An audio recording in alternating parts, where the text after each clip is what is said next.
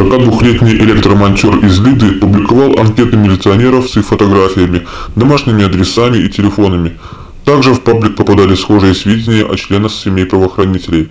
Цель мужчины – оказание давления на милиционеров для их отказа от исполнения служебных обязанностей – Помимо доски позора, Личанин управлял каналом «Объединенный союз революции» и чатом «Лида. Страна для жизни», где участников призывали к насилию над силовиками и их детьми, а также проведению диверсий на железнодорожном транспорте.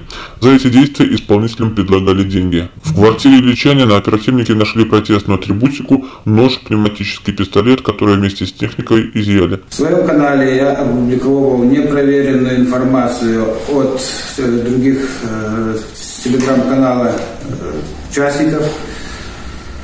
О, информация была о судьях, работниках МВД, членах избирательных комиссий. В этой на доске публиковалась информация, э, фамилия, имя, отчество, э, должность, на чем ездят, адрес, мобильный телефон. Преследовал цели какие, чтобы сотрудники МВД увидев других, переходили, ну, которых еще нет, переходили на сторону протестующих. Что я хочу сказать, я извиняюсь перед всеми, кого я сбросил на эту доску, действительно не проверявшими информации. И хочу обратиться, а, я некоторых даже с доски позора, некоторых сотрудников переслал на карателей Белоруссии, на их доску позора.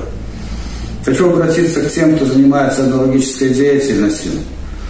Ребята, телеграм-канал не анонимен. И вся информация в МВД есть. И рано или поздно они могут добраться и до вас.